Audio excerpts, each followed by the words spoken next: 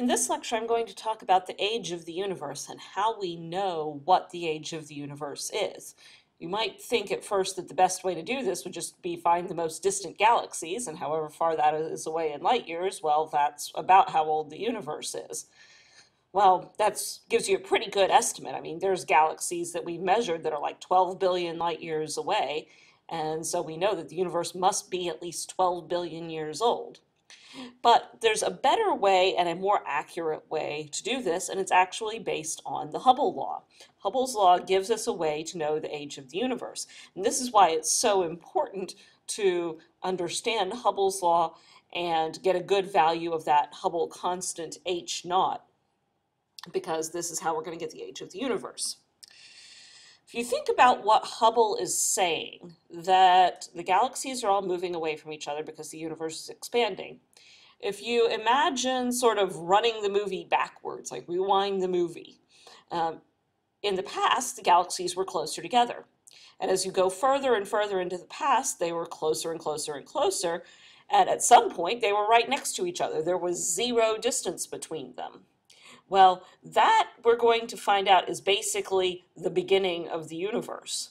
And the amount of time that it has taken for them to reach their current distance apart from each other is the age of the universe. Since the beginning of the universe, when they were right next to each other, until now, they have expanded and now they are at whatever distance they are apart today.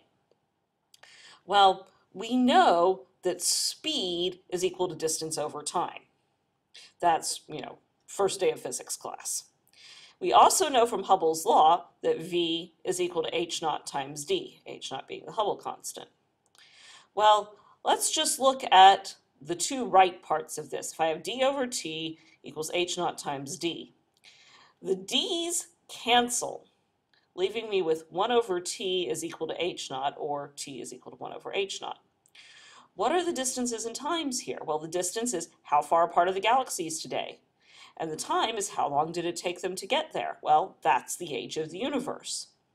So the age of the universe is 1 divided by the Hubble constant.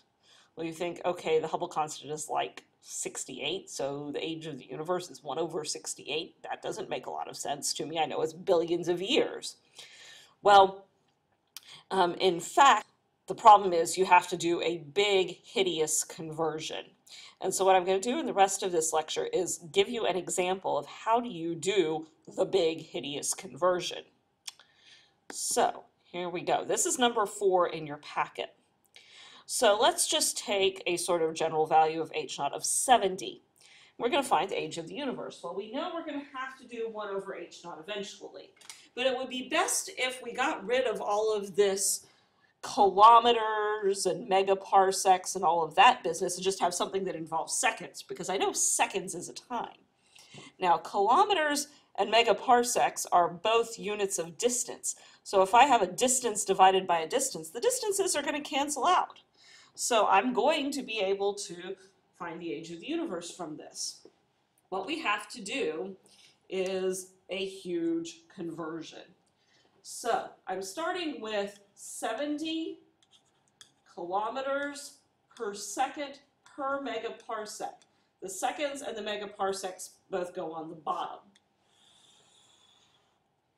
Now, I want to get the kilometers and the megaparsecs down to meters. I just want meters on the top and meters on the bottom because then they'll cancel. So let's start with the kilometers. There's a thousand meters in one kilometer. So at this point, my kilometers are going to go away. And I now have meters and megaparsecs. Well, let's get rid of the megaparsecs. The first thing I know is that mega stands for 10 to the sixth. So one megaparsec is 10 to the sixth parsecs. So megaparsecs are gone, and I have seconds, meters, and parsecs.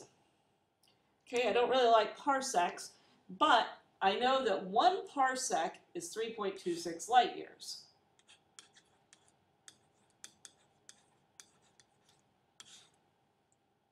So parsecs are gone, And now I've got meters, seconds, and light years. Okay, well, light years. One light year is 9.5 times 10 to the 15 meters. So light years are gone. But oh, look, I've got meters here and here. And so those cancel now too. And all I'm left with is seconds. So what we need to do is plug this into the calculator. And what I will be left with is something over seconds.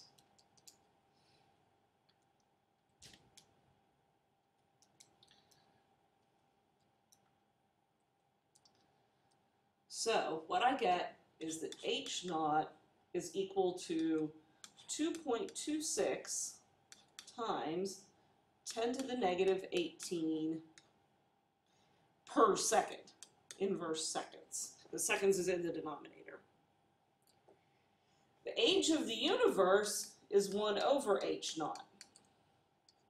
So I can do 1 divided by 2.26 times 10 to the negative 18. And I have 4.4 times 10 to the 17 seconds. That is the age of the universe, 4.4 times 10 to the 17 seconds.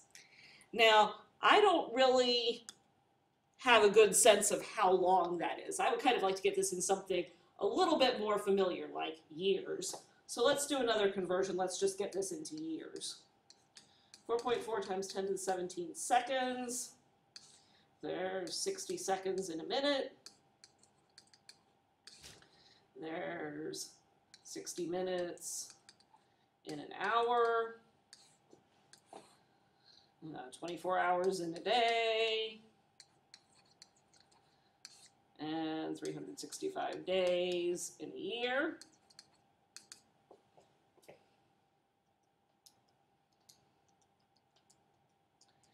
And what I get is 1.4 times 10 to the 10 years. That's 14 billion years, which is a very typical number for the age of the universe. Very standard kind of number. So from this, we know that the universe must be billions of years old. Now, if you're looking at this and saying, that was really hard to convert all of that stuff. I'm never going to remember this. The good news is that every single problem like this that I could give you is exactly the same. You're going to do this exact same set of conversions. There is no difference in any of the problems except for what this number is at the beginning. And then, of course, what you get for your answer. But all of the work you do is exactly the same for every single problem about the age of the universe. There's nothing I can do differently. So that's how we know the age of the universe.